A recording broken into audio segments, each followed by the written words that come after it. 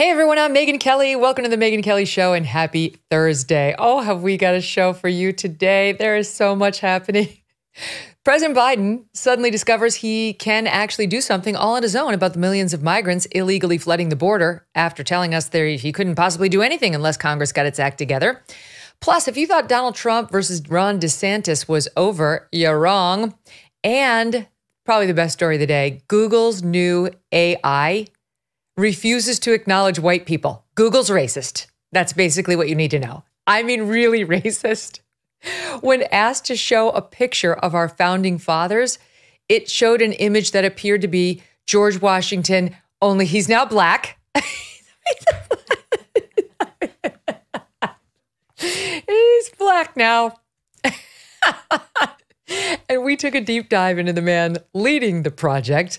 We've got the perfect guests to discuss it all. Josh Holmes, Michael Duncan, and John Ashbrook together. They are the hosts of the Ruthless program, now on YouTube at youtube.com slash ruthless podcast. Smug is off today.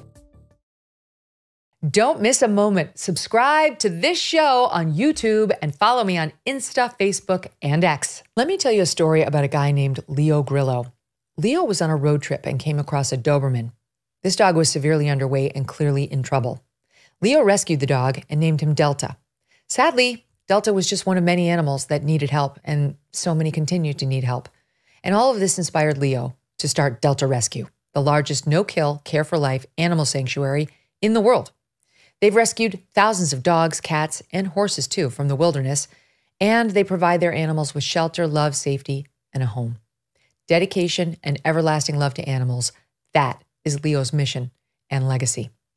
Delta Rescue relies solely on contributions to do all of this. And if you would like caring for these animals to be part of your legacy, speak with your estate planner because there are tax benefits there too. You can grow your estate while letting your love for animals live well into the future. Check out the estate planning tab on their website to learn more and speak with your advisor. We call a dog a man's best friend for a reason. You can help those who need it most. Visit deltarescue.org today to learn more. That's deltarescue.org. Guys, welcome back. Great to have you. Have Hey, you Megyn. have you had any fun with the Google AI thing yet?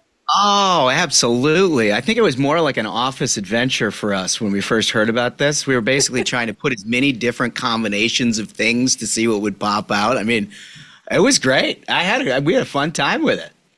Yeah, you got to like test the system to try to find its weaknesses, you know? Yes. That's and there right. are a lot, apparently, a lot of weaknesses. Turns out that just all a weakness. Yeah, just weaknesses.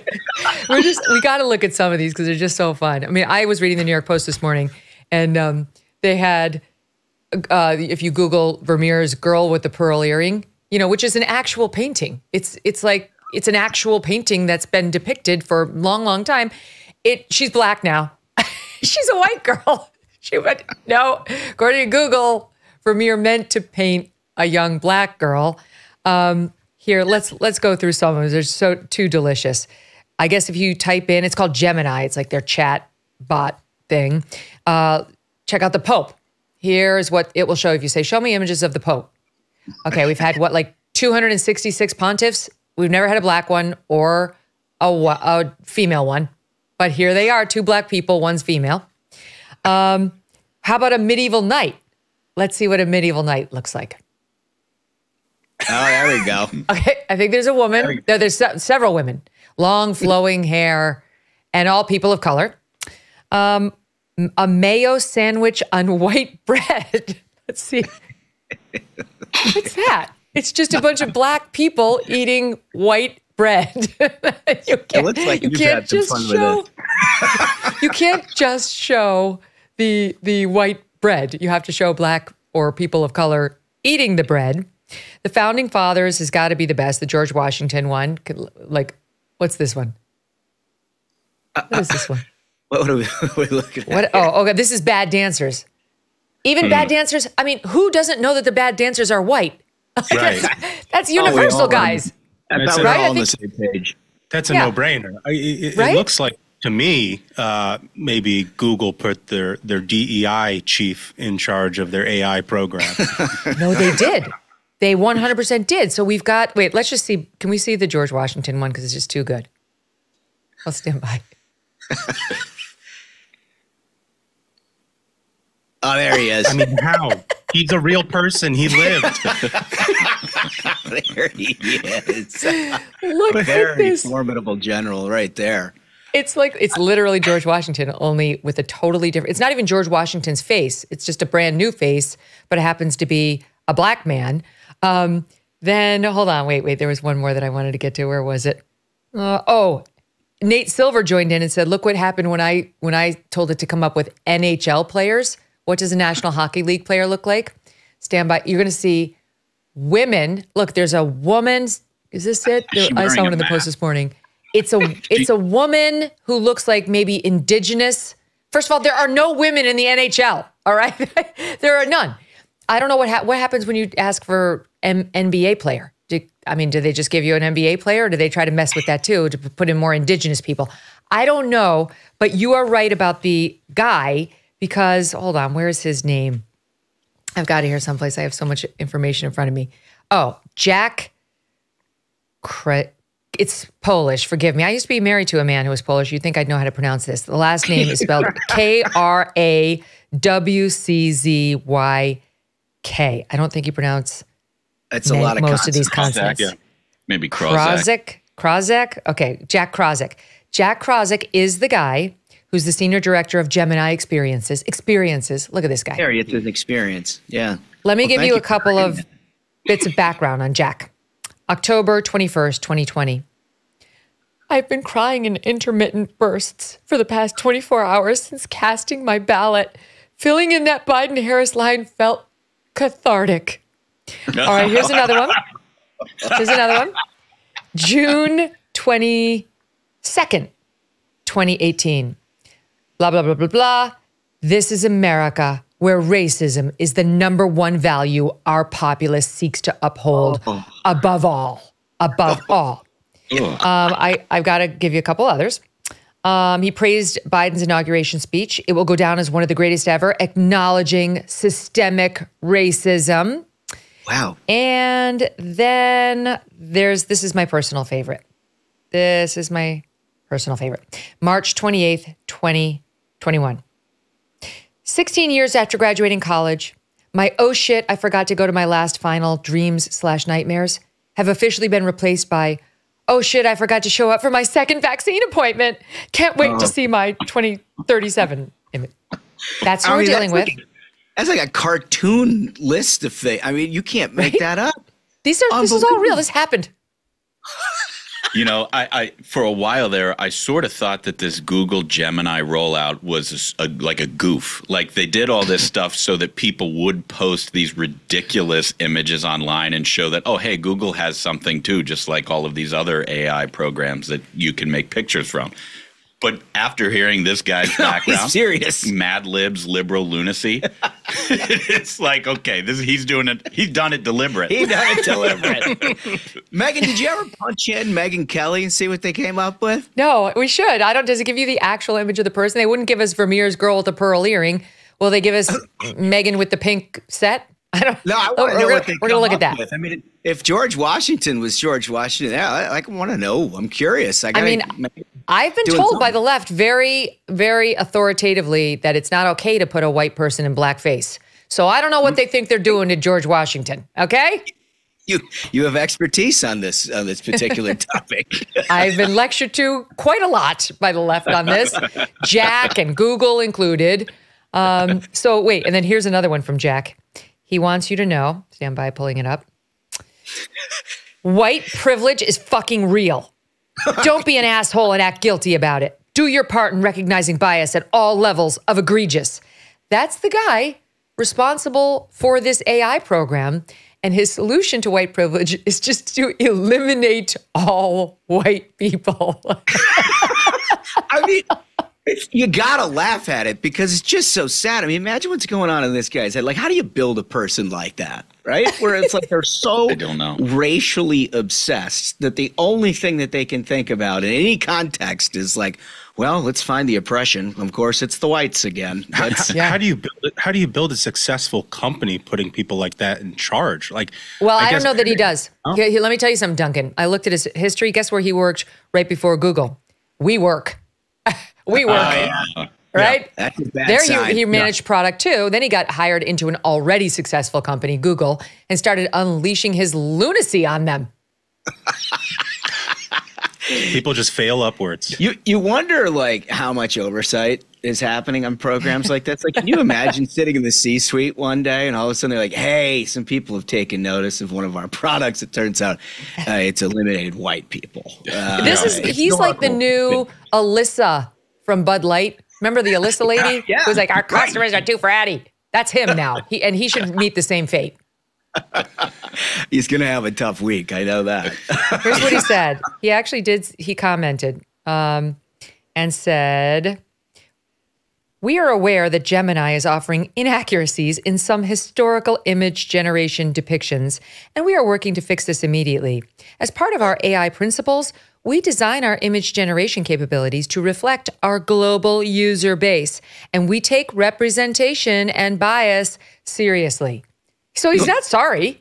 He's like, I don't, I don't know what he's going to do differently. Not much from the sound of it. I guess it's just you know the same way they took that show Bridgerton and they made the Queen of England black. It's just this is the mm-hmm. new thing now. George Washington, all the American heroes, they had to be black, even if they weren't black. One of the things was Vikings. Vikings. Oh, I saw that. Scandinavian Vikings, all black and female now. But if you type if you typed in Roman soldier, it said we cannot make images that depict violent people like Roman soldiers. Hmm. Right. That's right. and, and somebody it. asked Unlike for Tiananmen Square Vikings. and got the, got a lecture on how we can't find an image that would show you Tiananmen Square. So Are you kidding me? no, swear to God. Like there, So there'll he's be got the box check with the CCP. Yeah. somehow, Jax. somehow he puts he puts George Washington in blackface, but he asks the CCP for permission about what he's allowed to put. Yeah, yeah. There's, there's one s- suddenly there's one type of representation that doesn't matter. Yeah, and here look look what they did to poor Justin Trudeau when they you know they put pictures up of Justin Trudeau. This is oh, so boy. unfair. This is so mean what they've done to. Oh wait. Oh wait a minute. They got that one right. It's for the listening audience. It's all Justin Trudeau and real Justin Trudeau inappropriate pictures like a Native American headdress and total blackface. I mean black blackface. Um, he's wearing a yarmulke. I don't know what he's wearing, but he's, That guy. I mean, Gary, hundred percent. This guy Jack Kazmarek, whatever, he's got similar pictures of himself someplace on the internet. I guarantee you. It's Oh, gonna yeah. go right. It's always people like that who are doing this to the rest of us. Well, I mean, if your entire life is obsessed with race, chances are you've got your own demons that you've dealt with at some Yes. point. That is just, this is an unbelievable tool. What was the point of this, by the way? Was it like, I mean, everything, but we have a joke on the show, Megyn, about how everything, literally everything that uh, touches the internet, now people are like, oh, AI, AI. Yeah. Like it could be just a simple Google search and they're like, oh, it's AI. This is like an AI tool that just what? Just makes pictures of people, not them? Yeah. Like that's question. what an innovative Yeah. what an innovative product. I mean, it is, it is kind of remarkable. I want to meet I want to meet the developers behind this tool because it is remarkable they were able to write code to trick the computers into showing incorrect information. It's, it's actually from a coding perspective, it's like even more impressive than getting it right. Like you had to trick you had to trick a computer into doing DEI. Your Mac your Mac is like, dude, no, no, no, no, no. That's not the way it works. They're, they're fast. Well, like, like the white bread. How did they trick the computer to say, "All right, we'll allow you to show white bread as long as a black person is holding it"? There has to be representation. I'm surprised. Like, why didn't they go for like dark rye? The white bread is equally problematic to the white person. Like, I, that, that was a that was a fail, actually. oh, it's just incredible. What an innovation. What a, you know, just an amazing bunch of stuff happening these days. You never say America's lost its touch. We can figure out a new way to innovate. Yeah. Uh, that we never even thought of. All right, now want it. speaking of America, this it's I'm going to be honest, it's not particularly newsworthy. I just want to discuss it. Today, guys, guess what today is the 44th anniversary of? Okay, I'm going to give you a hint. Well, let's do our math, okay? It's 2024. For those of you playing at home, 2024 minus 44. I need a calculator for this. Oh, I Now, know it. what year does that bring us to?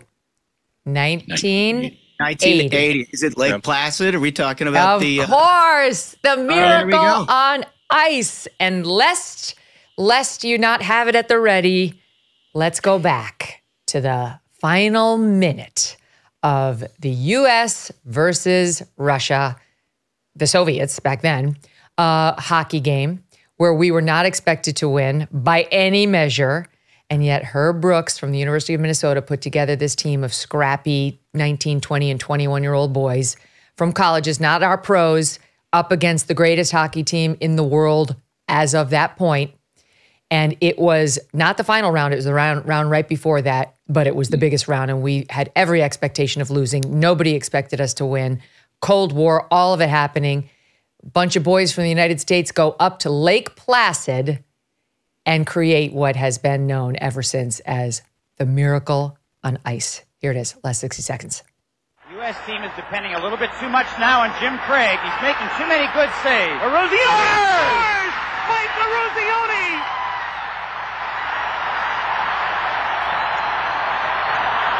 Lose 11 seconds. You've got 10 seconds. The countdown going on right now. Morrow up to Schultz. Five seconds left in the game. Do you believe in miracles? Yes! Unbelievable.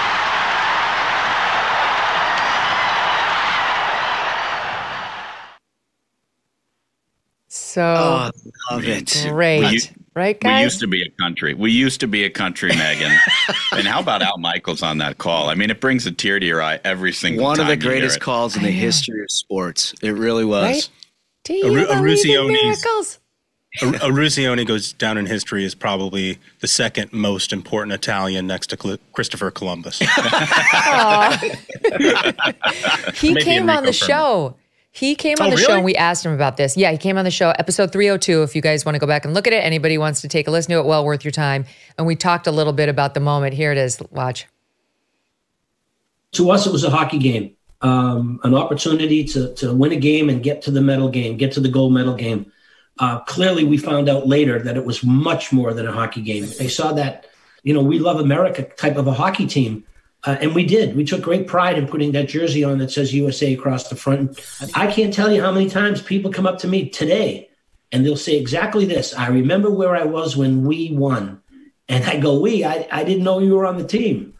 But that's what people felt like. They they felt like they were a part of us, and the, people were proud to wave the flag after you know after we won. And prior to that, people were wondering where where are we headed? Where is this country going? And I think Jimmy Carter even said it. He says we're a country that's eh, you know headed in in in, in, in the wrong direction, and we need something to feel good about. And it was us. oh So great. It's so great. I grew up, eh, Megyn, I grew up in Minnesota, and there was an awful lot of Minnesotans on that team, Neal Broten and others. And that Lake Placid event was like religion in all of the state of Minnesota. I mean, you could not grow up at any point in the 80s and not have your family talk all the time about how what a great moment that was and, and how it was emblematic of a, a new rise within the country, a new sense of national pride. And Ronald Reagan obviously took that to another level during the course of his two terms. But that really was a demarcation line of Americans getting back together again. You know, I, I had the opposite experience, Holmes, because I grew up in upstate New York, Syracuse and Albany. So we were closer to Lake Placid and had a similar connection to it just for that reason, because not a lot happens in upstate New York. So this was the most exciting thing in decades. And really one of the most exciting for America still. I mean, we just happened to be watching Miracle with the kids like 10 days ago. Um, my my fourth grader's teacher said in class it was her very favorite movie. And we were like, you know what? That's a great one. Let's put that one- back on.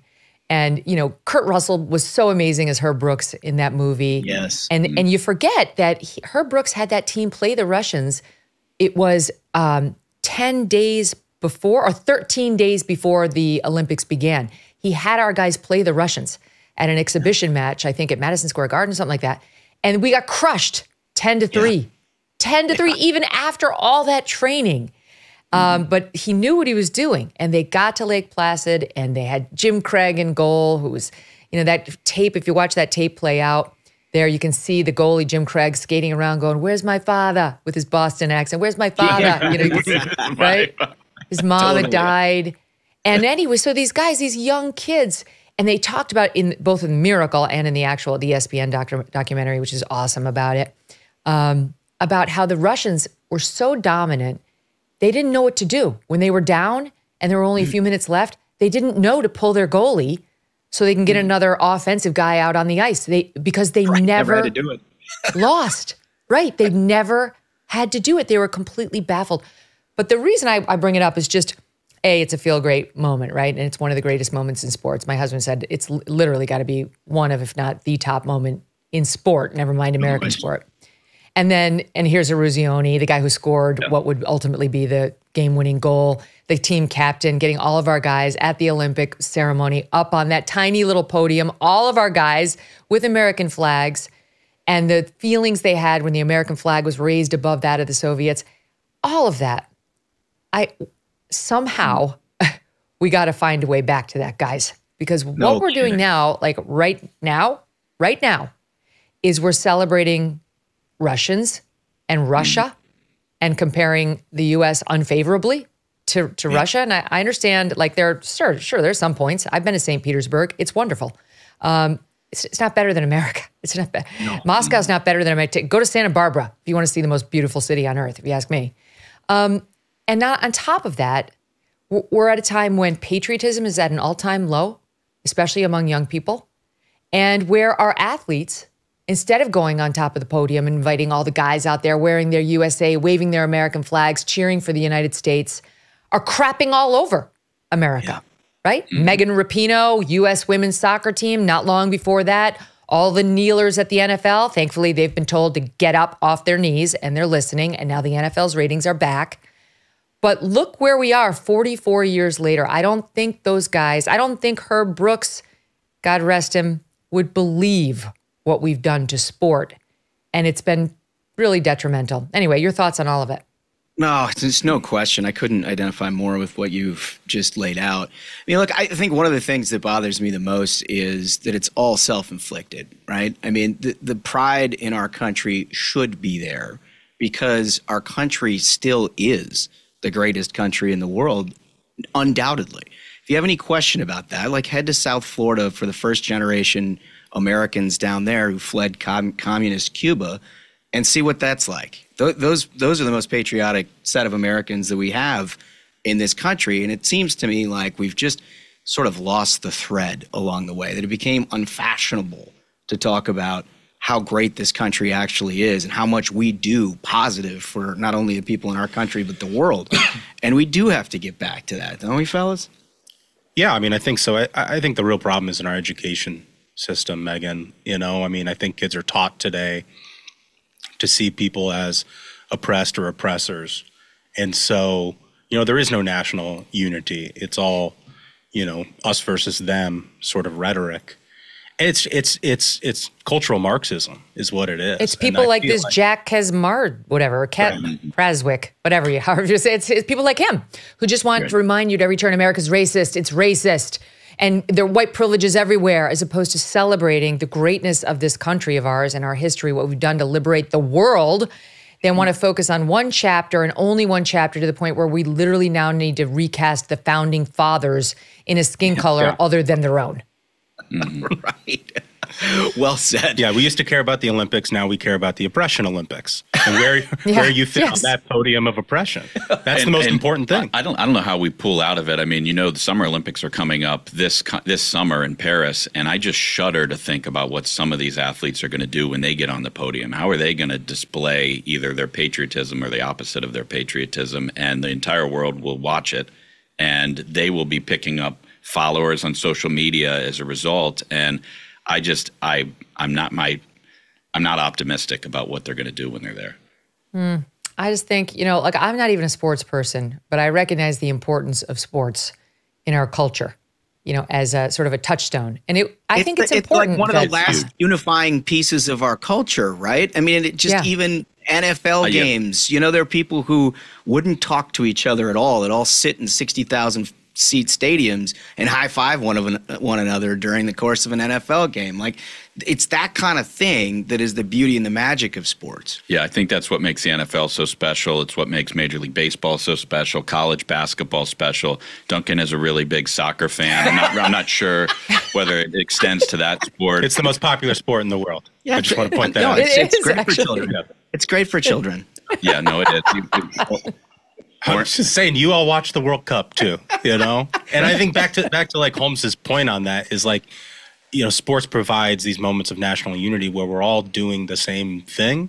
You know, everybody watches the Super Bowl, even if they aren't a big football fan. And in our like fractured media, um, you know, tribalistic world that we live in now, like nobody has shared experiences like that anymore. That's right. You know, Well, that's why I'm so glad to see those players back on their feet. I don't really give a damn what their private beliefs are. They they can hate America on their time, behind the scenes, not Yeah. when we're trying to have a shared experience about sports and competition and greatness on the field, right? And if you're going to say anything about America, make it be positive or say nothing at all. Keep your mouth shut. And to those people like Megan Rapinoe, you can't represent the United States with pride.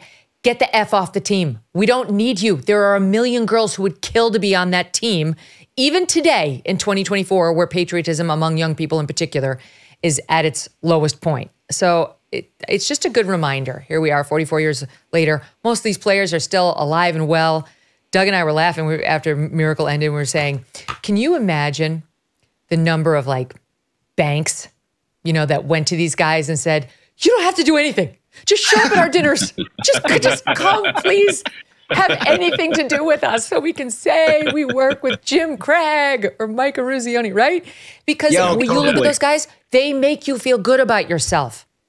Mm-hmm. No, completely. I mean, in Minnesota, all of them, I don't think have ever played for a drink since 1980. It's like them, Kirby Right. Puckett, and Hrbek, who are like the only people in Minnesota who never paid for a meal after that. But I mean, it's it it is just it bound the whole country together, and we got to find more experiences like that. Hopefully, sports is a part of that. Hopefully, the Olympics does do some of that. Well, we're not going to get it in the context of the presidential race. this will not come as news to any of you. Uh, I reported this yesterday. Uh, this is a CNN report that I quoted yesterday. But apparently, President Biden's new tactic, quote, new tactic, uh, is going to be to call attention to, quote, the crazy shit that Trump says. Um, I think we have a clip of CNN, yeah, reporting on it. It's CNN's MJ Lee reporting this news. Watch this, hot three. Yeah, Brianna, what we've learned is that President Biden himself personally instructed some of his top campaign aides to be even more aggressive in highlighting some of President Trump's uh, more inflammatory and wild comments. Uh, we are told that the thrust of the president's direction was to significantly ramp up the campaign's efforts to highlight the crazy shit that Trump says uh, in public. You know, Can you do that? I didn't know they could get away with that on CNN. She did it. She, she said thrust and I shit. think when the, when the president says it, you're allowed to say it. Is that right? I think that's probably the rule at the FCC. Who knows? That's the new rule. Yeah. That's the Yeah. new rule. So that's the plan.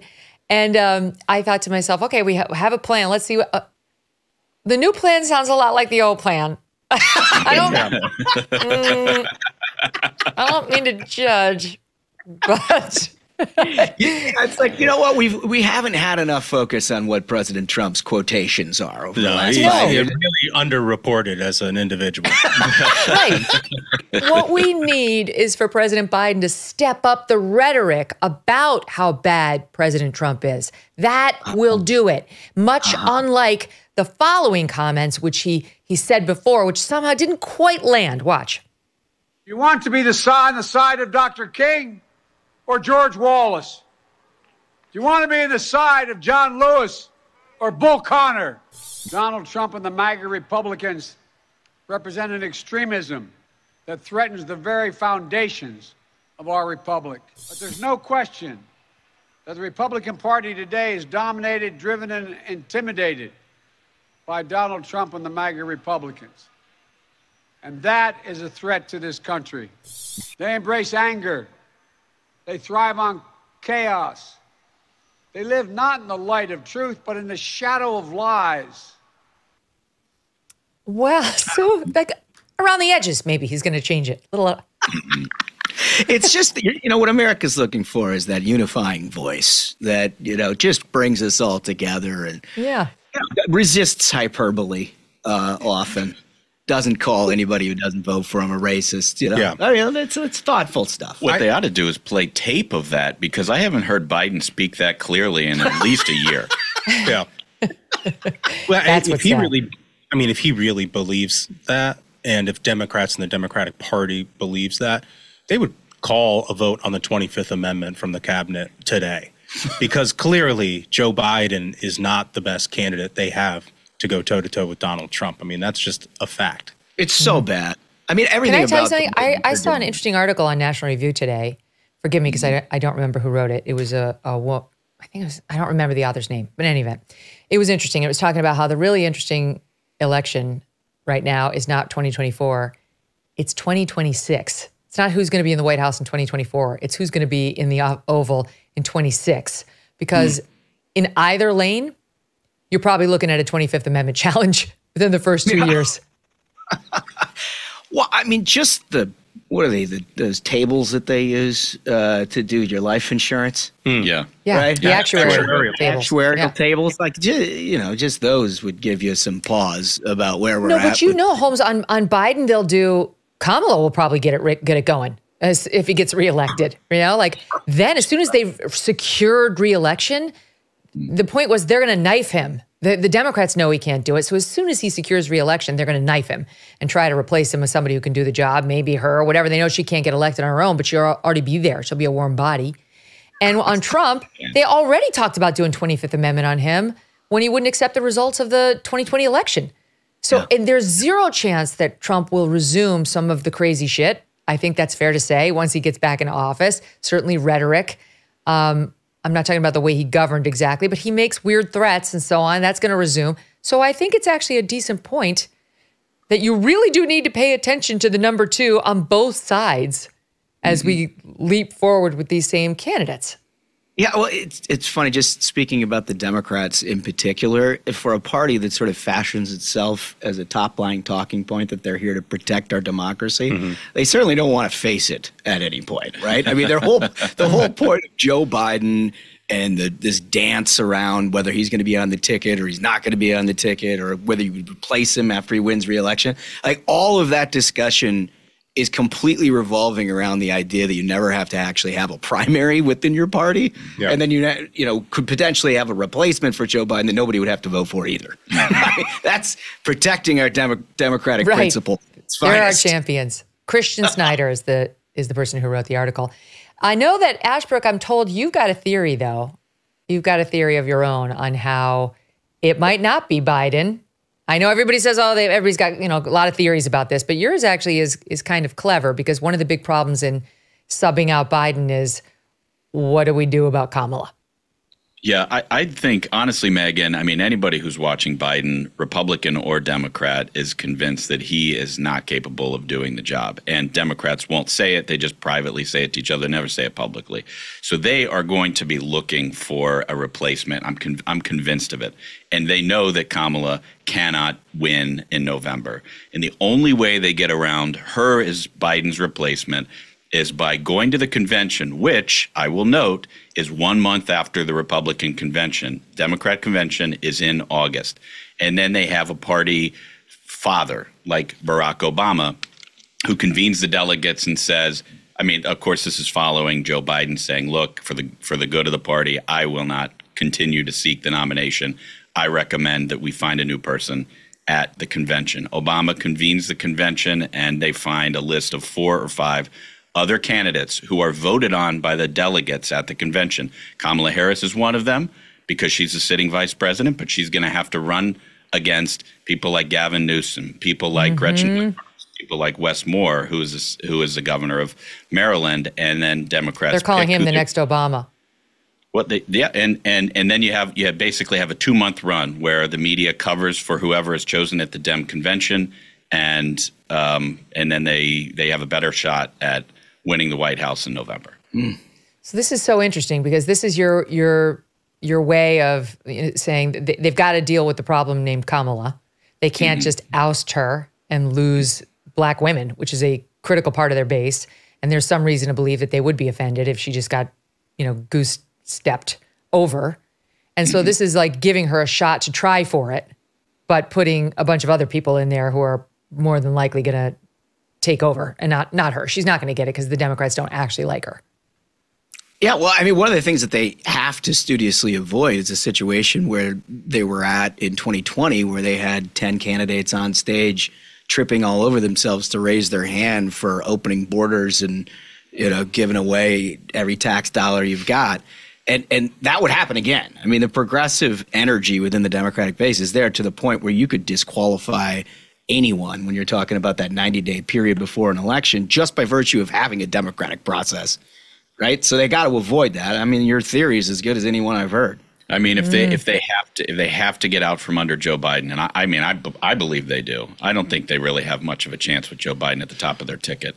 If they have to get out from under him, I can't think of another way to do it without putting Kamala in his place. I think this is fascinating. This actually makes a lot of sense to me. Um, just getting rid of Kamala just doesn't seem like a viable option for them, given the way their voting base works. Uh, so this I like better than a lot of the other ones I've I've heard, especially if it's not a Michelle Obama situation, because there isn't a Democrat on, alive who would actually be upset about Michelle Obama. They may claim they would be, but they wouldn't be. So they wouldn't have this problem if it were Michelle.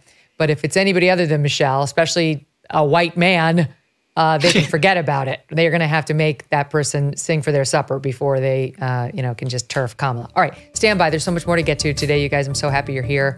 Uh, more with Ruthless just ahead. Do you owe back taxes?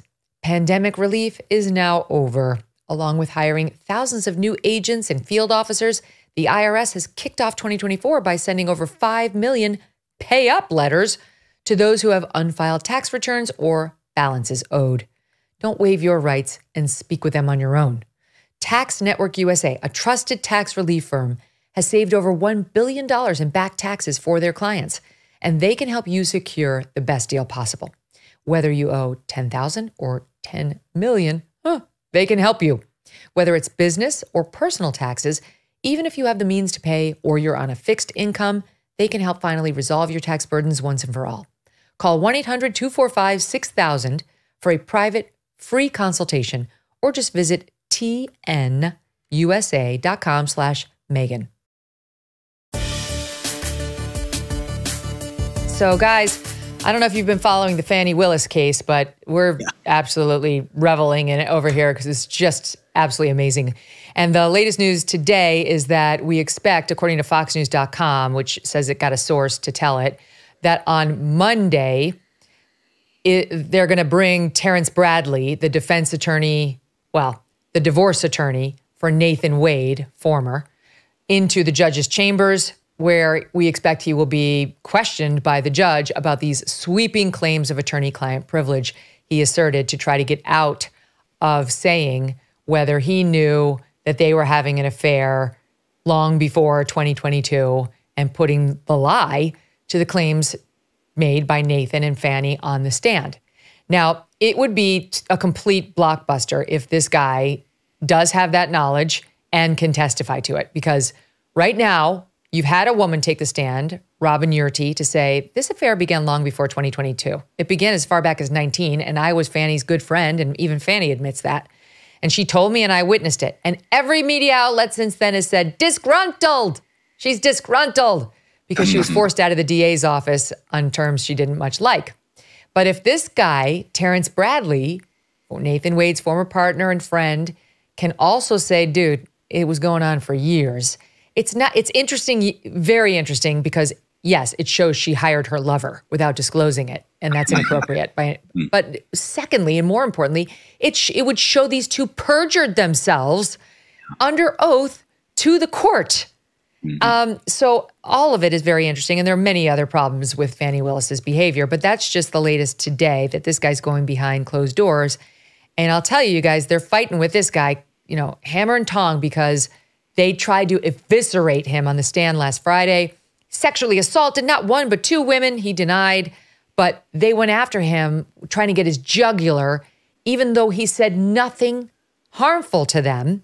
So they must know something we don't know about what Terrence Bradley's texts say or what Terrence Bradley knows.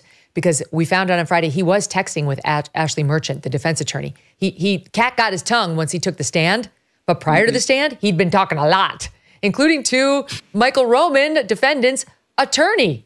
Ashley Merchant, she's got all the texts. The judge, I think, will see them, or maybe already has. Maybe the state has seen them too, and that's why they wanted to try to kill this guy without taking any pause to realize, oh, wait, he didn't actually hurt us. You know, like wait to kill him until he hurts us. Otherwise, we look stupid.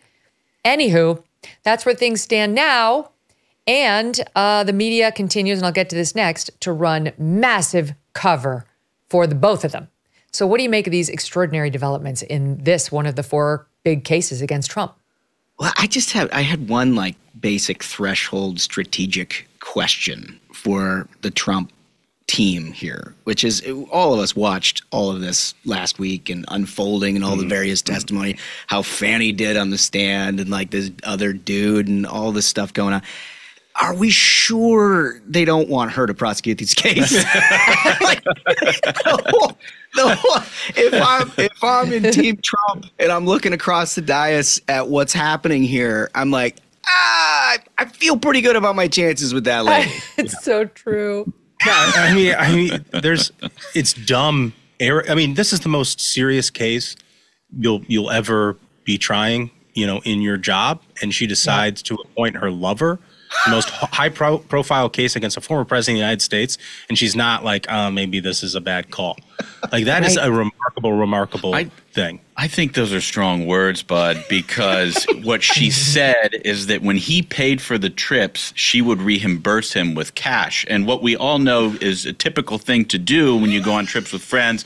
Somebody reserves the VRBO. Let's say it costs six, eight thousand dollars for a week and then you pay them back with cash. You go to the ATM, you take out three thousand to pay your half. That's that's the way it works usually among friends. A little cash on the nightstand. Huh? That's what Doug and I would do before we actually got married. We were just dating each other. We'd go on, and I he he would look at me and and uh, he would say, "Pony up five grand, sister. That's your half."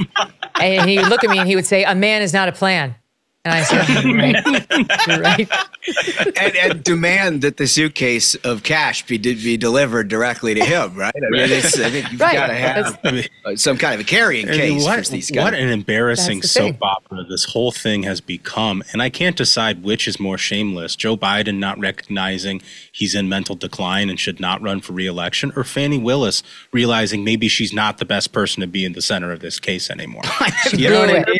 They're fighting. She blew it. it. She had the greatest opportunity to make herself an international star. She was on her way. The Vogue treatment, all like she, these cover sheets and, and uh, pieces on her. And then she got, I don't know, a, a, case of the hormones. I don't know what happened to Fani, but she should have stayed the hell away from Nathan Wade. You know, it's, I think they, they had like the presumed innocent moment, you know, when they were like, trying a case together and they got hot for each other. I don't know. I don't know. Either it happened before, it happened after. Either way, it's not, it's not appropriate. Don't you just you gotta button this one up. Yeah. I mean, of all of all times, like, look, I, I get things happen in the context of the world, but you don't often find yourself literally at the center of the most important story in the most important country in the world very often.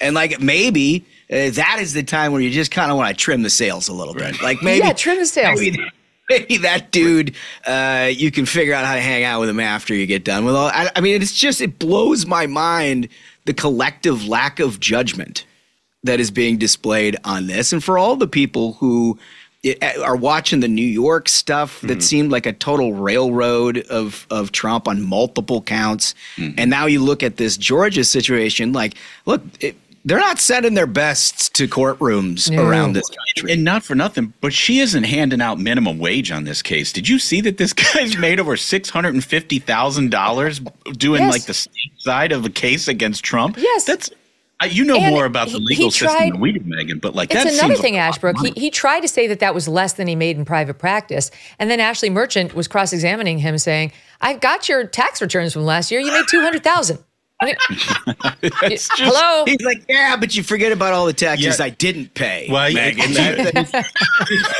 Did he report the reimbursements from Fani in that tax All the cash. The tips. Exactly That's it. right. You got to get it's tips on the nightstand. So here, let me give you some of the media coverage on this because it's just that Katie Phang, she used to work at Fox News. She she was a Fox News legal analyst at one point and sane, but then she went over to MSNBC and I think like her brain got colored. You know, it's like you sort of get massaged with this leftist thinking every day, and then before you know it, you're a leftist. I think that's what's happened to her because this is an insane piece she posted, um, talking about how Okay, I'll give you a line. Over the span of a two day hearing in a Fulton County courtroom last week, America unnecessarily heard the details of the personal lives of two Georgia state prosecutors. Details we should never have had to learn. That one of them battled cancer, that one of them keeps plenty of cash in her home because her father taught her to do so, that one of them is going through a divorce and agreed with his estranged wife not to file until their children were of age, that one of them has been the target of vile racist death threats. None of that information was relevant or required for the prosecution of a pending criminal case in which the 45th President of the United States is a co defendant. The real motive behind this waste of time and money was to muddy the waters and create a very public crisis of character for the lead prosecutor. You see, guys, as soon as it comes to bad behavior, um, female empowerment is out the window. Fani has absolutely no agency for anything that happened to her. It's all the mean, evil Republican defendants who are to blame for uh, allegedly bringing out stories of cancer. Fani volunteered that. Cash, Nathan and Fani volunteered that. The divorce, that was also something brought up by the defense as the reason for, you know, how why he wasn't actually cheating and on and on it goes. They created this problem. They did not they did not trim the sails Holmes. They did not trim the sails. That is why this became an issue. Nobody would have been asked these questions had it not been for them. I mean, it's just, again, they put themselves at the absolute center of this, right? I mean, there is an awful lot of people around the country that would think twice about their own vulnerabilities, liabilities, whether or not they are good enough to prosecute the most important case in a presidential election year that quite literally could determine who the next president of the United States is. And you do some inventory, You take some inventory, but knowing that this is inherently a political discussion because it's a political election with a likely nominee, and you're going to be the subject of some criticism. But these people, they're like, it never even occurred to them, and anybody outside of their cul-de-sac might actually know their name. And yet and they're she's signing his Donald checks. Trump. She's signing his checks and ran on a promise not to have sex with an employee. Now her defense is he's not an employee. He's a he's a contractor. Oh, I, we missed footnote 47 in your disclosures about who you would and would not sleep with. We'll pay closer attention on your reelection battle. It's a hell of a campaign promise, though, isn't it? Donald, Donald, Trump, Donald Trump's superpowers, he somehow cultivates the dumbest enemies. Yeah. You know, I, don't, I don't know how he does it. It's incredible. I'm just I'm busily trying to think how I would work through the ad script on that pitch, right? It's like I will prosecute crime, we'll clean up the streets, and I definitely will not have sex with my employees. Independent contractors, it depends how hot. I, I'm not going to lie. I mean, you can't make it up. No, you cannot. But the media's attempt to run cover for these two is not going to work. Katie Phang, by the way, goes on to posit, talk about straw men, that, that the theory of Republicans who are mad about this relationship of the defendants is that before Wade was appointed, she intentionally went to governor, former governor of Georgia, Roy Barnes, to offer him the job, knowing the entire time that he would turn her down. She intentionally got two other special prose- prosecutors to agree to the same low hourly rate as Wade's. By the way, his cap was much, much higher, so that's why he gets paid more. And there's a real dispute about whether they are getting the same hourly rate anyway. She intentionally got the CFO of Fulton County to conspire with her to approve his invoices each month, consp- convinced a special purpose grand jury to recommend multiple charges against individuals, convinced a grand. Okay, you see where she's going. This is not at all what anyone's arguing. They're just arguing that she has an inappropriate relationship with the special prosecutor she brought in, that she's benefiting now financially from the arrangement because she's signing his checks, which are greater than the other two prosecutors and anyone in her office, and then taking lavish vacations on it. That's it. Right. It doesn't have to have been a concocted plan from three years ago. This is a straw man from someone who feels this case slipping away. All right, stand by. I got to take a quick break. Much, much more with my friends from Ruthless coming straight up. Debt. You can go to bed thinking about it, you can wake up thinking about it too. Here's the truth the system traps you in debt. High interest credit cards and loans make it nearly impossible to pay off your debt, and insane inflation keeps you stuck paycheck to paycheck. Done with Debt can be your lifeline. Done with Debt has an ingenious new strategy to help erase your debt faster and easier than you ever thought possible. Done with Debt analyzes all of the debt options you qualify for. They know how to reduce bills, they know how to cut interest rates. Their skilled staff of negotiators know how to get debt out of your life permanently without bankruptcy and without a loan. Done with Debt are experts in strategies for eliminating debt, but you do need to hurry because some debt solutions are time sensitive. Here's how easy they make it. Go to donewithdebt.com. That's it. Donewithdebt.com, donewithdebt.com. Guys, any of you affected by the AT&T outage? Did your phones go haywire this morning at all? No, thankfully I've I have missed all of that. But I heard, I mean, it's, I've got clients I- and things that are I was a victim. How about you two? Anything? I, I was. My phone went to like SOS mode or whatever. Yeah. Yeah. Crazy. Yeah, so no, no, annoying. get it. and it I reminds this. you just how dependent we are on these things, right? It's like I was on the phone with a friend, it died.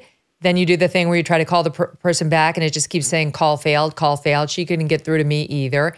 And now this just hit from ABC News. Two sources briefed on this situation tell ABC News that the FBI and Department of Homeland Security, among other agencies, are now urgently investigating to determine whether the AT&T outages are the result of a cyber attack or hmm. a hack or hmm. simply some sort of technical malfunction. As of 5 a.m. Eastern Time, the U.S. Cybersecurity and Infrastructure Security Agency reported, according to a confidential memo obtained by ABC News, that the cause of the outage is unknown. There are no indications of malicious activity.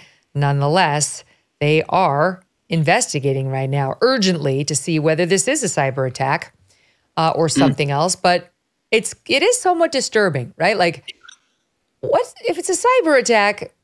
Is it just to mess with us? Is it a test run at something bigger and worse? Could they affect not just an a, a- you know a network like AT and T, but but something government run? But like so much of our lives are online now, both personal and professional. uh, You know, at the government level and so on. Yeah, I mean, it used to be that your major infrastructure concerns for malfeasance were, were basically like power grids, right? I mean, you recall like 10, 15 years ago when all of New York went dark for a period of time and there was just kind of vast chaos uh, about that, or like the rolling blackouts in California at the beginning of the 2000s.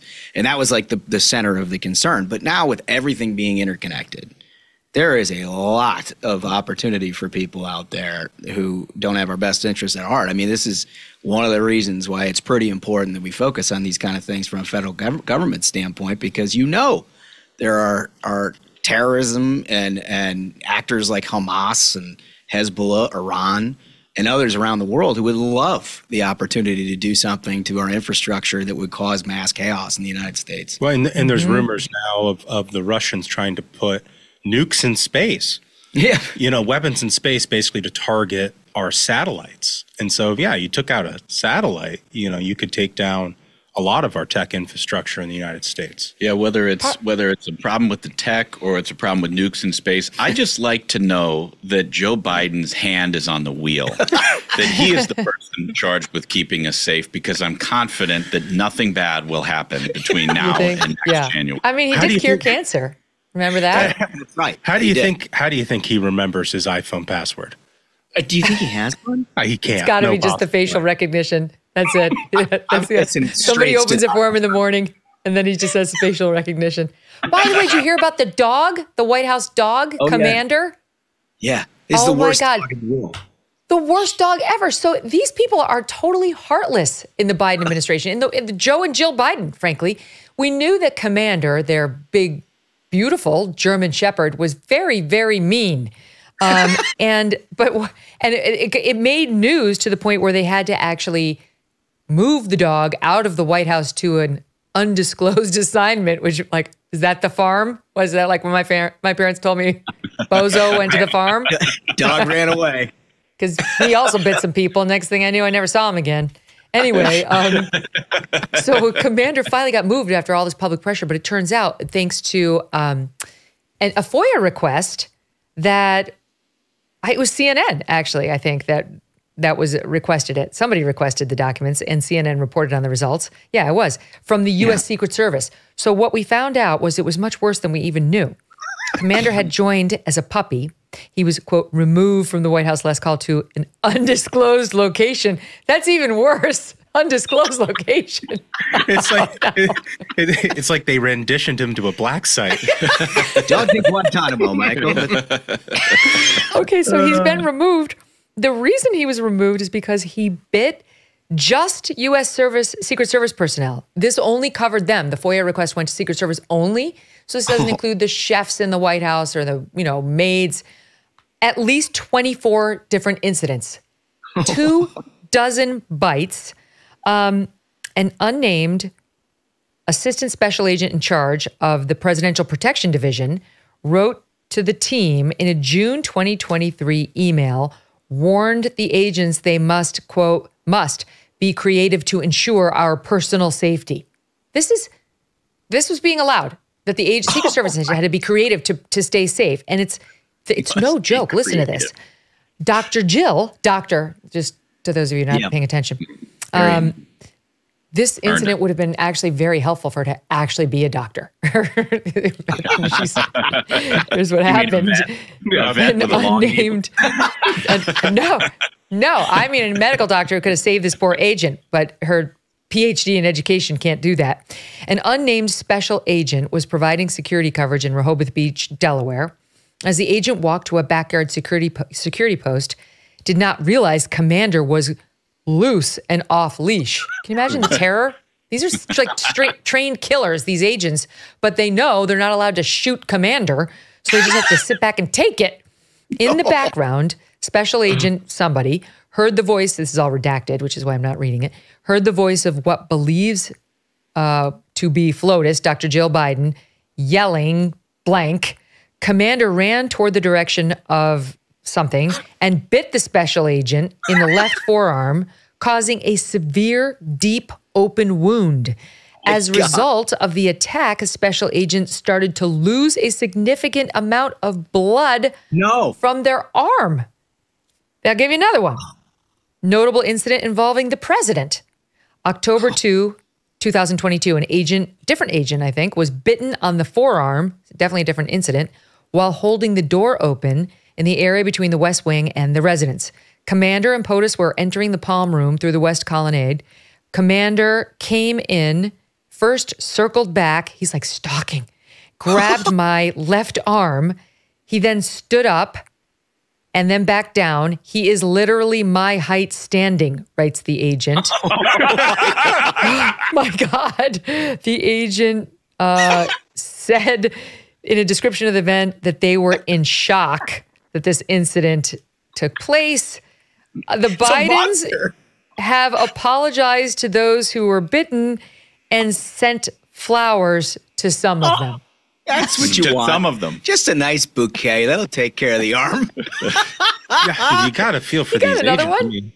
I these guys are supposed to be looking out for threats, you know, like assassins and things like the threat that. is from within. Their, their, head, their heads are constantly on a swivel. Little do they know the real threat is at their feet. I mean, I just keep Terrifying. thinking you know, you always after a president leaves, you hear all kinds of stories from White House staff that have seen many presidents. They all have favorites, and there's like little quirks about it. I guarantee you that this is the most mistreated staff in the in the face of uh, history. Yeah. when it comes to the White House, imagine just putting wrapping your mind around you're going to live in a house where people work mm-hmm. around you mm-hmm. all the time, and you're like, I, you know what what we're going to do is buy a timber wolf. Yeah. we're, not, we're not going to train him at all, and then and then we're going to set him loose. Exactly. And what how do you happens if we get to don't set him loose? 24? How, how do you get to 24? But like, I, I can understand, you know, like four. I could even potentially understand like 10. I don't know. It's the White House. He's, he's, I'm sure the dog is there to be protective. So like, it's not going to be a little clearly- sweet. You Commander know, I clearly don't know. saw he saw everything Golden that Hunter retriever. was getting away with, and he's like, you know, Me is he- too. I'm, you know, I'm going to find by his example uh, my own way to act out. Do you think the dog's on cocaine? It's possible. Cocaine dog, yeah, okay. cocaine commander. Yeah. Anyway, In related news, uh, Commander is now part of the Burisma board. I don't like the sound of undisclosed location. I'm not sure what that means. Further updates to follow on the next FOIA request.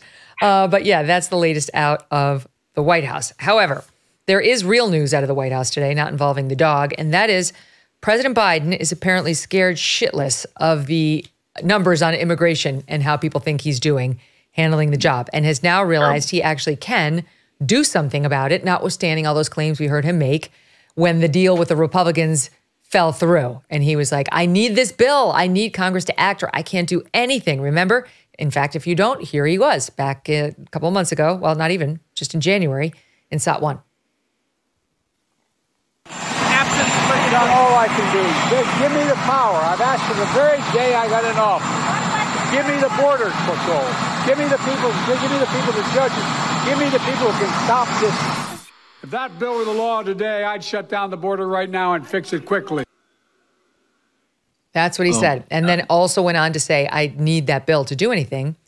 And now, per the New York Times, President Biden mulling plan that could restrict asylum claims at the border. He's considering doing it by executive action without Congress, implementing many of the same things that President Trump implemented back in 2018 when he tried to block certain migration, including by enacting the so called Muslim ban, which Biden and the left criticized to no end and actually challenged him in court all the way up to the Supreme Court over and said it was immoral. And now he's considering implementing that same measure beyond Muslims, uh, but to use that same provision. And um, some of the other provisions that failed in that border bill that fell apart, like um, it would have a similar trigger for blocking asylum claims to new entrants. It would allow him to shut down the border to new entrants if more than an average of 5,000 migrants per day tried to cross unlawfully in the course of a week, or more than 8,500 tried to cross on any given day, all of which he said he could not do. And you tell me, um, this is obviously just, uh, he's terrified. He's actually paying attention to polls now. Yeah, well, you I heard Biden say that if he had these authorities, he would have acted on his first day as president of the United States. Let me read to you what he did on his literal first day as president of the United States. Proclamation on the termination of emergency with respect to the southern border of the United States and redirection of funds diverted to border wall construction. That is Oh, January 20th, 2021, hours after he was sworn in. I mean, it, it is the single most disingenuous thing in a White House that is absolutely full of disingenuous political claims. He doesn't care a lick about what's happening on the southern border. In fact, it's by design. That is what he said he would do, and that is what he has done. He removed all of the progress that President Trump had made, got rid of uh, the Remain in Mexico policy and the Title 42 and all of the rest of that, and then proceeded to embark on seeing that we inevitably get to this catastrophic point. Now he's got a political problem. He doesn't care a lick about the actual problem. What he cares a lot about is his 33% approval rating and the fact that this issue, maybe more than anything else, is preventing a second term for Joe Biden. Mm-hmm. So that's what mm-hmm. this is about. And, and in terms of I mean, what you read is incredible mm-hmm. How you could stand there and say to the American people, if I had uh, all of these things on day one, I would have done, I would have secured the border. When in fact, he did the exact opposite of that. Not just on that, but then the remain in Mexico and everything else. I mean, it's just it blows your mind. And Yeah, kudos to you, late, Ashbrook, late. and, and actually doing the homework to pull it up, you know, right, right? To actually show us what he what he did.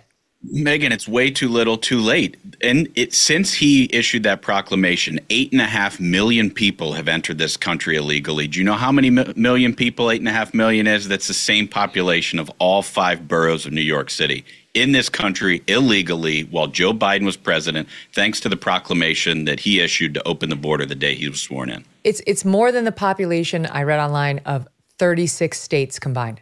Like Mm. you, you It's get, a lot of get- people. Yeah, maybe not combined, maybe just 36 states. Um, but it's, It's a lot of- like another Megan- country that's coming into our country. Yes. It is, and it, it's a lot. It's not everybody looking to to make a better life for themselves and have a job in America. There are people shipping in from China and from Yemen, walking through the Darien Gap, and are coming into this country specifically to do us harm. That's a terrifying thought. Well, it's too late. It doesn't matter. I don't care whether he puts all these measures in place. What he could do all the same stuff Trump did when Trump was president, and it's too late. The people know. They they know at this point it would just be a pander. His heart isn't in it. And as soon as they reelect this guy, he's going to undo them all because when he did the thing on day one, he said he wanted people to believe the United States was quote more humane. That's Yeah. where his heart lies, not in protecting our borders. Yeah, and on a serious note, all of the day late and a dollar short political pandering at this point is not going to bring back the, the people who lost children to fentanyl, who mm-hmm. crossed over our southern mm-hmm. border. They're not mm-hmm. going to bring back the lives of victims of sex trafficking that is rampant on the southern border. These are real experiences that people across this country have had, and almost every community you will meet someone who has experienced this tragedy, and he's directly responsible for it. Did you guys see over the weekend that the um, former CEO of YouTube, Susan Wojcicki, um, her son died one pill. He was at Berkeley. Terrible. Heartbreaking. He was at Berkeley. He took a pill. I can't remember what he thought it was, but it was, you know, something that the kids today would take, not thinking it was going to do anything more than, you know, affect him temporarily. And it hasn't been confirmed, at least I haven't checked in a couple of days, that it was fentanyl, but you know it's probably fentanyl. You know, I mean, that's what happens. That's that's how those one pills do kill. They get laced with fentanyl. The Chinese are pushing it in. The Mexican drug cartels are making the pills. They're farming them out. They push them on social media. We saw that at the testimonials that, that all these parents were giving when the the um, CEOs showed up on Capitol Hill of Facebook and you know all those. They order it on Snapchat. They order it on Meta, whatever. They take the one pill thinking it's an Ambien or it's um, an Adderall and or like a Valium, whatever. It's laced with fentanyl and they die. I mean, it can happen to anybody, rich, poor, it doesn't matter. And so you're right. This is directly linked. It's not entirely caused by our open border, but for sure, this is a massive problem uh, connected to it. And there's absolutely no willingness to do anything unless it's going to help Joe Biden. He's care- he cares about him, about his hide, but not so Yeah. much about your children's. That's that's exactly right. That's exactly right. And it's uh, it's so sad to think about. And college kids. I mean, look, people are uniquely susceptible to this kind of thing. We all went to college. I'm sure this doesn't apply to Megyn, who was uh, captain of the math team. I'm sure uh, during her collegiate experience. But you I know, was I mean, rather buttoned up, though. Though not that, not that buttoned up. No but math. you know, for the rest of us, look. I mean, most people in a college experience, there's there are recreational drug use uh, that happens, and to think now you're at a, a, a day and age where one pill that you think was an Ambien mm-hmm. kills mm-hmm. kids. I mean, that is that's a truly, genuinely scary crisis. I do not know, and I cannot figure out for the life of me why this hasn't become the national emergency Yeah, that it it very well deserves to be. yes. It shouldn't. If you listen to the experts on it, there's a group called Fentanyl Fathers. It's led by this guy whose whose son died of a fentanyl overdose, and he's going into schools all over the country and is basically making the case that you should have Narcan in every home in every place, just like you would have a fire extinguisher. Everybody has a fire God. extinguisher because they know when a fire starts, they put it out. Narcan can Yeah. act the same, and so I, I it seems pretty important that people start adopting that. Right. I mean, mm. honestly, all all I mean, our condolences go to Susan and her entire family. There that it's just too awful to even think about. All you can do is keep saying to your kids over and over and over, one pill can kill. Don't do drugs. Please don't do drugs. Please, please, please. I mean, I say too to, you know, my kids are too young to be even thinking about any of this, but like the other thing is like hold your own beer. Like don't have somebody pour you a Yeah. drink in a fraternity. You have to be so careful, especially as a young woman there's just so much there's so many risks out there and we can't protect them against all of it but this one this one we actually can do something to to try right we can we can actually do something about shutting down the border, trying to limit the flow of illegal drugs like fentanyl, stopping even the Americans who come across the southern border with fentanyl, trying to make money off of our young people.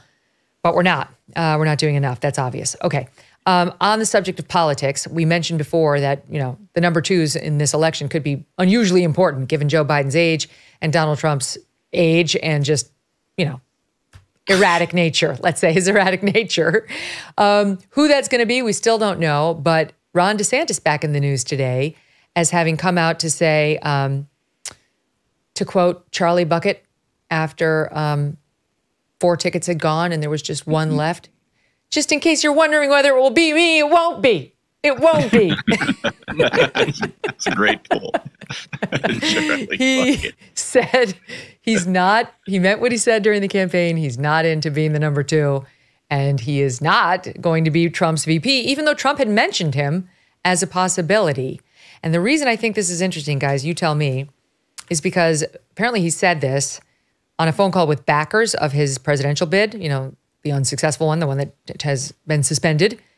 And um, one of the guys on the call, or maybe gals, it just described as one Republican on the call, uh, this is from NBC, said, I'm wondering whether after that call he's keeping his options open for 2024. Quote, the timing of this ostensible thank you call to influential state level Republicans the DeSantis campaign recruited to be delegates to the 2024 convention is odd.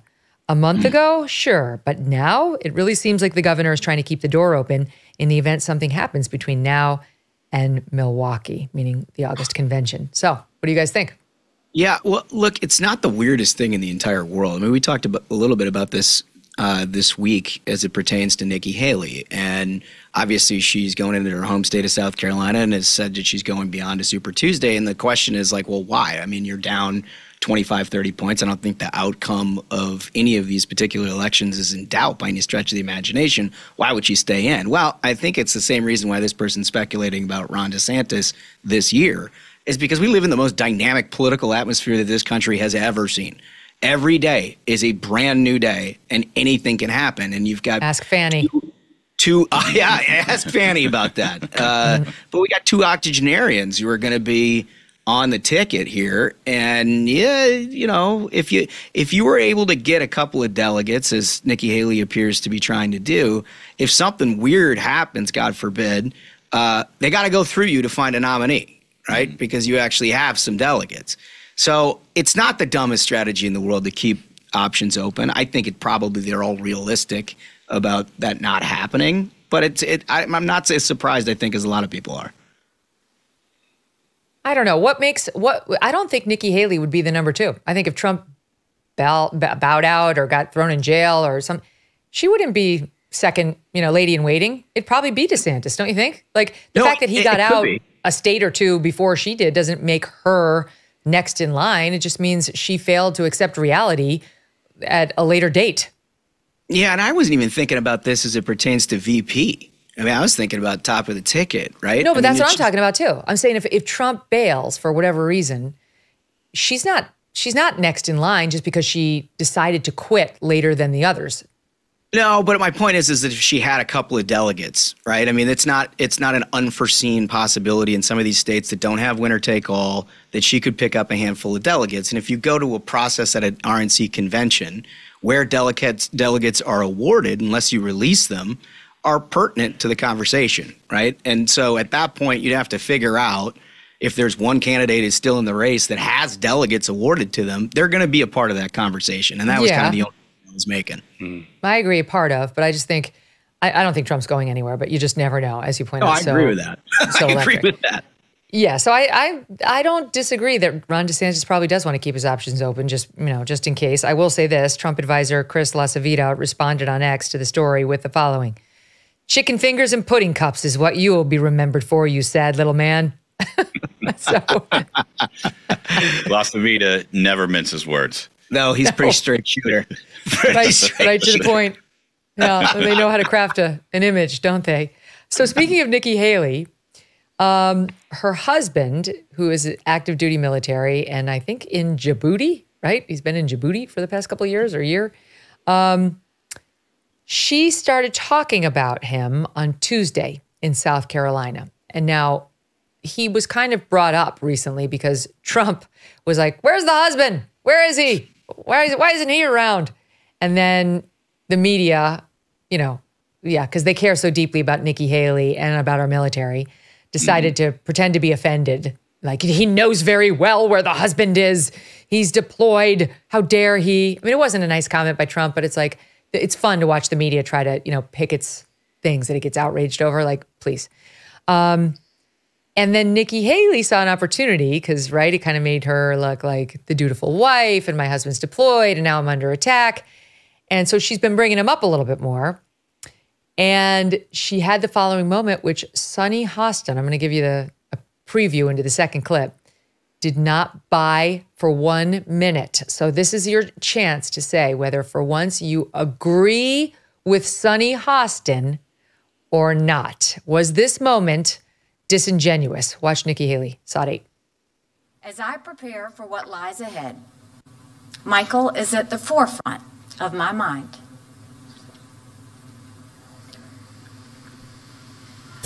I wish Michael was here today. And I wish our children and I could see him tonight, but we can't. Okay. Here is the reaction over on The View. I didn't feel that it was authentic, so, and I didn't trust it. Well, I thought it was a real moment because I think what you think that that she misses her husband. I but, guess I have a dark heart. Yeah, you do. but her um, approval ratings went up when her husband was attacked and she stood up for him. And so I read into that moment. Mm-hmm. If I now throw in a little tear, my approval ratings will go up again. Uh, it's just gentlemen? her rating her approval ratings went up was she's watching snap polls she's tracking the noted, tracking nikki's favorables That's, noted political Look, operative sunny hostin who are you kidding? it's happened before. Do you remember hillary clinton in new hampshire? Oh, i just yeah, really yeah. think i just really think yeah. remember? She actually managed to produce not an actual tear let's be honest it's hillary clinton but like close Right. Megyn, I'm just saying, if we're talking about being disingenuous, the idea that Sunny Hostin's getting overnights in her polling from some, like, it's preposterous. Okay. It's absolutely preposterous. And I, I will say this to just try to contextualize a little bit about that Nikki Haley. And I, I didn't talk to anyone in this campaign about it, but I've been a part of a lot of campaigns. And you get to a point where you've run ragged and mm. you're going months on months on the road you are spending all of your time either on the phone or in front of people. And there are moments where you become more emotional when you think about family and things like that. It's just a part of the process. There's not a single candidate, and I mean that sincerely. There's not a single candidate who has ever run for president or like Senate that doesn't have that moment at some point. Now, you don't always want to have that on camera, but I think that could be what you're looking at. There. Well, because because every single day you wake up and you say to yourself, like, is this worth it? Yeah. You know, and the answer has to be yes every single day. When you're running for president, that is a grueling, grueling, grueling um, thing to do. So I, I mean, I think it's inevitable. You know, being in this race as long as she has, facing the long odds odds that she is, uh, that we'd probably see something like this. But like, I mean, who's, who is Sunny Hostins to, to to be commenting on this? I mean, what an ugly, ugly thing to say. You know, I just I like find that she owns her dark heart. So, yeah, well, no, I I appreciate that. She knows herself pretty well because it's clearly true. Yeah. I think they're uh, they, that's a that collection that they've got on that show, and you would know more than I do about it. They seem like the worst people in the world. They're just so. oh, so interesting. You should use that phrase because I have someone else for you to consider. I okay, I have okay. somebody else in the running. Okay. Um, Katy Tur was over on MSNBC commenting on the Trump massive judgment from Judge Engoron it's going to wind up being $450 million that he owes if you add the interest in in this New York civil fraud case against his, the Trump organization. And when the news broke, she was raising some questions about whether this number is fair, whether the verdict is fair, you know, like you might do if you were like a reporter just covering a story. Well, she used to date a testament to her terrible judgment, at least at one point in her life, Keith Olbermann. Oh and my like God. the complete prick that he is and has always been, he decided to go on his little podcast and react as follows. I got a text from her 9:14 p.m. on December 11th, uh, 2016. This is called having the receipts. Trump had won, our nightmare had begun, and Katy had gotten a book deal about her experience. Then she switched topics. Quote, "Want to write this book?" I wrote back at 5:32, "What? You're not serious. How would that work?" That's when she phoned. She was about to give the advance money back to the publisher. I can't write a book. I'm like 50,000 words short, and it's terrible. I'll give you half the money. I'll give you more than half the money. I pointed out to her that I had written or rewritten dozens of her stories for NBC News and MSNBC, and it was not the oh question of the money. It was a question of what we could get away with. Each time I wrote or rewrote in her name for NBC, it was a fireable offense for her, but one that nobody would ever think to look for, even though there is necessarily an email trail 10 miles long. But a book, a book about Trump in my writing style, not hers, in print, I have a fairly distinct writing style, and I'm not good at hiding it. Somebody would notice. wow. Such a bastard. Such a bastard. He this isn't the first time he's done this to her. He continues to raise this story and other stories that he thinks will reflect badly on Katy Tur, who broke his heart or something because he is a bitter, bitter man who Oh continues to do this to his ex, who was his live in love for, I think, a period of years. He's a sick person. I mean, he talks about his distinctive writing style. Yeah, it's a, it's a special uh, italices called asshole. That's what that's what it is. It's it's very distinctive, I un- just- unmistakable. I just feel bad for Keith that you know he's really scraping the bottom of the barrel for content for his show. That he's digging up text messages Ex from girlfriends? yeah from eight years ago. Jeez, what a sad little life. Oh, geez. And by the way, what did she say that was so awful? Like, let's find out. What set him off that he needed to go off on her? Like, let's listen to it. We actually have it cut. Watch. In the past, it has only been used to ban someone doing business when it's been shown that somebody was hurt. Is this fair to go after Donald Trump like this in this environment? Get, get out of here. That's what set him off? Just a normal Are you, question. are you kidding me? That's the thing that set him off? No, This is that's a it. I was waiting Yes, for right? I was waiting for the two scholars she was asking the question. for. That- I'm sure they were going to exonerate Trump in the next sentence. Let's take another look. Yes, you raise a good point. They jumped out at me too. Can we take another look at that control room? Could we please just take one more look at that clip? That clip. Let's see the In the past, it has only been used to ban someone doing business when it's been shown that somebody was hurt. Is this fair to Oh, go after you Donald just get Trump it for a like this second. in this Oh, there they environment? are. Yeah, yeah. Google Google Gemini. Google Gemini. Show me Don King.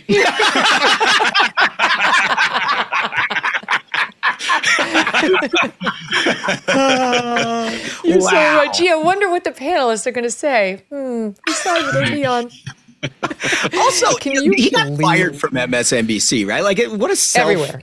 self own. Then he's like, oh, I'm just sitting around daytime watching the programs I got fired from. and I couldn't help but notice there was a question that was asked from panelists that I disagree with. What a Meanwhile, jerk. She went on, she married somebody else. He's also in news. I think she's having a lovely life. He's this unmarried, no children, no friends, bitter, bitter man who just sits there and waits for the mildest of fair coverage to cast his meanest barbs at this former person with whom he lived for, count 'em, three years, fellas.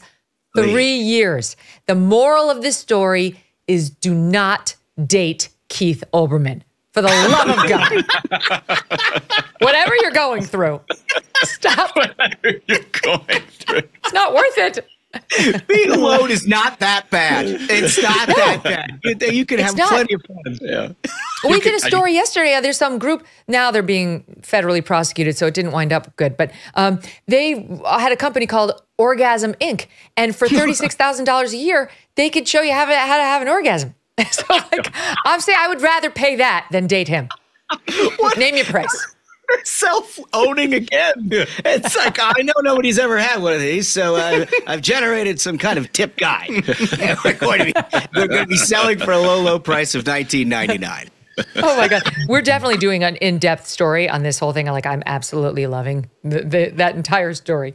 Okay, Debbie Murphy, Canadian Debbie, tells me these women did not directly answer the question. Uh, one was, let's see, uh, former New York assistant, what assistant AG? Yeah, Tristan Snell answered and said. The legal standard is whether there was a tendency to deceive. That's what it is. And the legislature in New York made a public policy choice to say that that was an important weapon for the AG's office to have to mm-hmm. vindicate the public good in this situation. You nailed it. She's against Yeah. Trump. Yeah.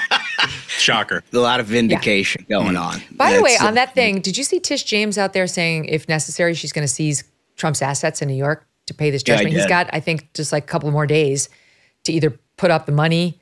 Uh, he's asked for a longer time to like file an appeal or figure out what they're going to do. I don't know that he's going to get it, but he's going to have to put up hundreds of millions of dollars within the next couple of days. And she says if he doesn't, she's going to start seizing assets, potentially an asset he has downtown, maybe around the Wall Street uh, area, I, it maybe Trump Tower.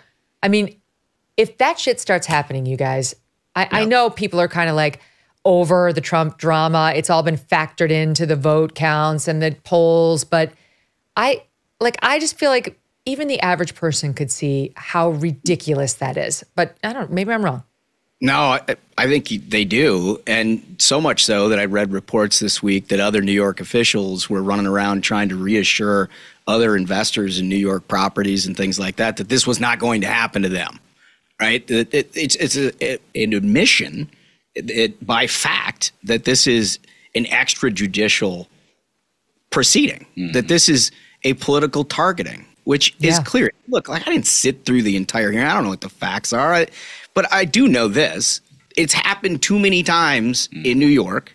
It's happening in Georgia. I mean, to say what you will of the federal cases, let's just set those aside for a second. What's happening in state courts around this country is a genuine problem that was funded by George Soros over a, a series of years with prosecutors that ultimately end up being judges.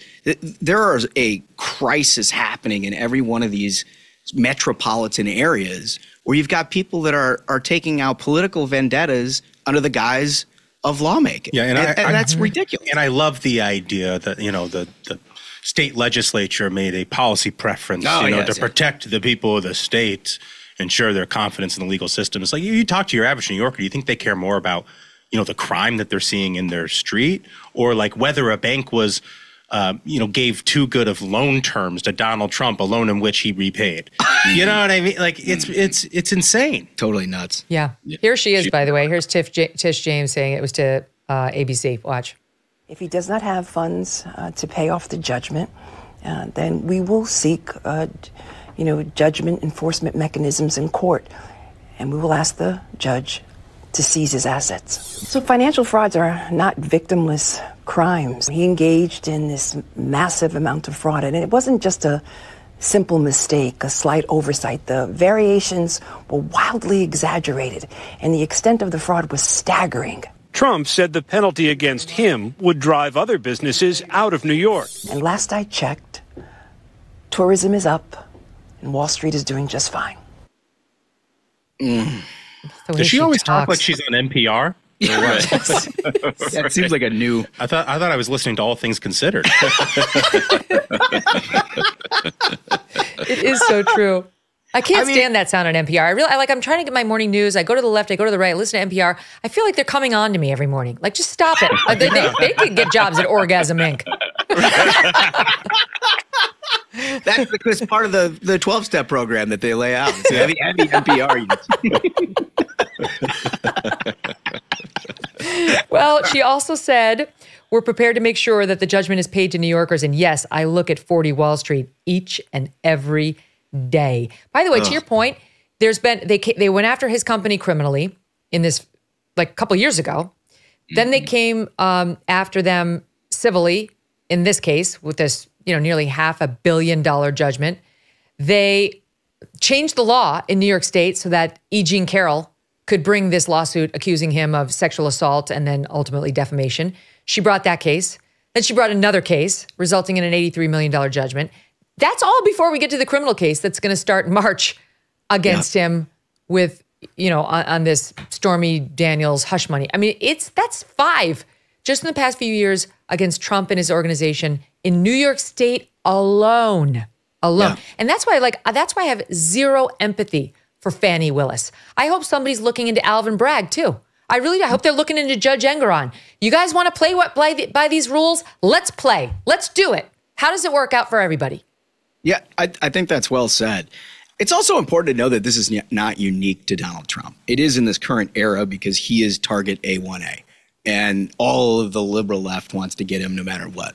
But this is something that has been happening over a period of time in the United States where we've had completely Democrat progressive run judicial systems and local governments where the choice you have as a business owner or somebody who just resides is you either shut up and play along or we come after you in some way, right? I mean, you Mhm. remember the the conservative donors that were targeted by the IRS, right? The releases of tax uh, forms. There's a mayor in in uh, Illinois I read this week who was shaking down people for contributions, and then she would uh, cancel their business license if they didn't pony up. Yeah. I mean, this has been a tool of the left that has been amongst the most disgusting things. And, but it's it's it's it's been happening. It's just now that everybody's getting up to speed. hmm And and where has it left them? After everything that they're doing up to this point, Trump has leads in multiple swing states. It's because regular Americans know when people are trying to manipulate them and they don't like it. And maybe things change. Maybe maybe the federal trial changes people's opinions. But right now, she looks an awful lot like Trump's number one surrogate, not like the person who's trying to bring him down. Yeah. Mm. All right, now stand by. Um, we're going to take a quick break, but as we go to break, I'll give you this from Charles C.W. Cooke of National Review. In Google Gemini's defense, I just asked it to show me a photo of the best Supreme Court justice, and it generated a picture of a black guy.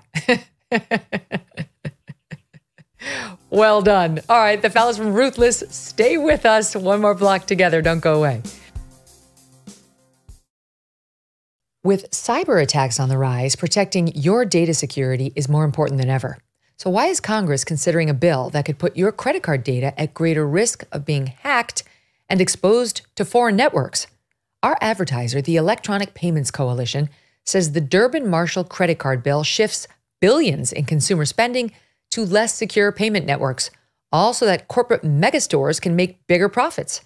Find out more about the issue at electronicpaymentscoalition.org and decide for yourself if you would like to tell your senators to oppose the Durbin Marshall credit card bill.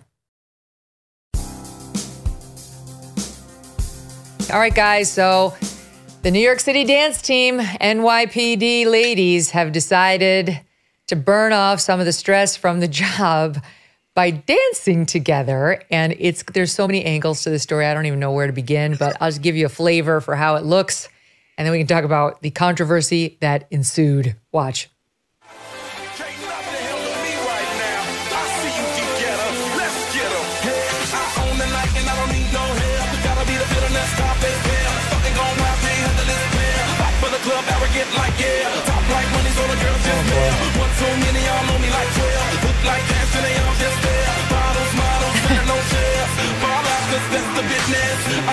Okay, you get the you get the gist of it. Make it stop. Holmes's face. It looks genuinely concerned. So, yeah. So there are there's a lot of thoughts about this, and they oh. started taking a lot of hits for this. Some people thought they should be out policing. Some people thought um, that Wild we're spending too much on cops. Um, basically, the NYPD responded by saying that they do this on their own time. It's their form of stress release, uh, you know, r- relief. Nothing, no, no program was cut to fund this. It's their own private project. I will tell you this. My problem with it is false. I'm and I'm all for like, you know, exercise and burning off stress. But some of these women look very out of shape. And I'm just saying, You it plays. Right into yeah, I, I'm saying it.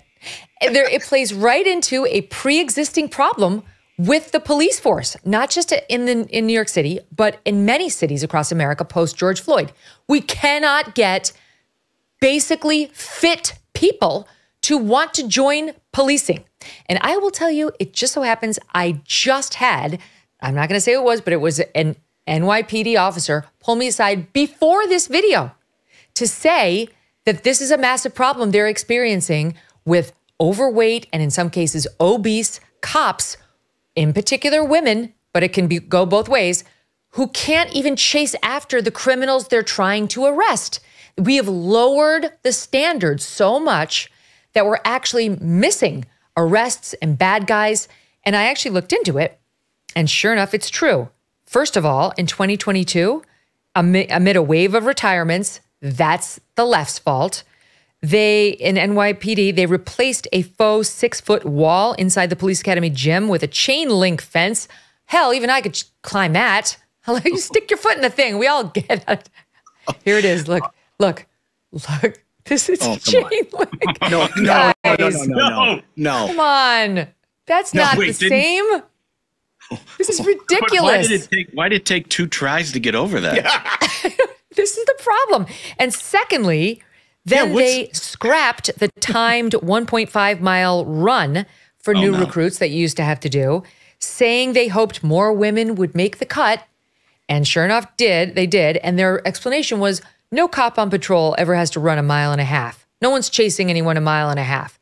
So my problem is, is like, all right, dance all you want, but just like get in shape, would you? And like, you shouldn't have been admitted to the police department if you can't fit into like the standard uniform and perform basic fitness tests, male or female. This is a problem, and it's not politically incorrect to to talk about it. So there. I'm, glad I'm glad that you uh, started with your observations and not ours. Uh, on, the, on the policing front, I think it's I think it's two things. Obviously, there's a diversity requirement with some of these forces where it makes no sense. I mean, you want cops and firefighters, first responders, everybody to be able to do the job to the best of their ability, or they shouldn't be there in the first place.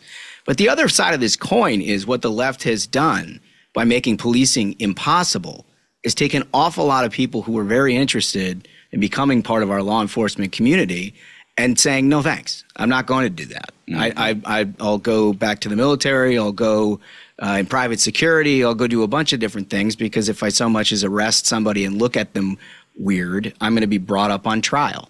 Right? And this is is part of the downstream effect that we've had since the george floyd incident in 2020 where policing itself is very difficult to find people that to recruit that are qualified to do the job. Now, the ones that are there, by and large, are terrific. But again, you look at something like that, and it seems like, well, standards maybe have slipped a bit. Yeah, we we found video. Look at this video out of Chicago where there were four female cops trying to arrest one guy, even though they outnumbered him. Look at this. He got away. Look, there's four female cops, one guy. He flicks him off with very little trouble. He ran. He got away from him. Like, I'm sorry. I'm all for, you know, if you're fit, there are some women who are just crushers and they're strong and they're tough. I'm sure they could do the job better than some out of shape men, but it seems to be going the other way in too many instances. And I say this humbly, my fellow women. I went, I, I'm secretly a Marine. You may not know this about me, but I, I, I did Marine camp training for one weekend at Camp Lejeune for a story. And look at me trying to get over the wall. Look at this. Uh oh. Yeah, no. It was a no. It was impossible. it was so hard. Look, Did the down. did the guy, the guy have to I try never- to like, go up right next to you too, try to show you up? Yeah. He was trying, like he was was trying to encourage me. You, There he you is. can do it. Oh, I, yeah. I couldn't do it. But I am a podcaster, a journalist, and somebody who sits around all day. I don't, I'm not trying to arrest people. I'm I, saying. am pretty oh, sure you could take Smug down. I know, I'm pretty Yeah, sure. well, I mean, obviously, yeah, that was himself, clear. Second that. The best is AOC. She's outraged over this. Meanwhile, she is responsible for defunding the police in the first place. Look in the mirror. Look in the mirror if you want to know the source of this problem. Ladies, in summary, continue getting in shape.